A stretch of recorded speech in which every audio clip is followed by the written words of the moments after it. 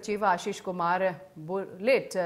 बुटेल ने कहा है कि मीडिया राष्ट्र का चौथा स्तंभ है। आज समाज में अहम भूमिका निभा रहा है। पत्रकारों को चाहिए कि खबर ऐसी लिखे जो कि देश के हित में हो, जनता तक सच्चाई पहुँचाए। पत्रकार का कर्तव्य है वो गेरटी और थिएटर के प्रेस कॉल क्लब के कुरुक्षेत्र द्वारा आयोजित वर्तमान दौर में मीडिया की भूमिका और चुनौतियों के विषय पर आयोजित संगोष्ठी में बतौर मुख्य अतिथि बोल रहे थे।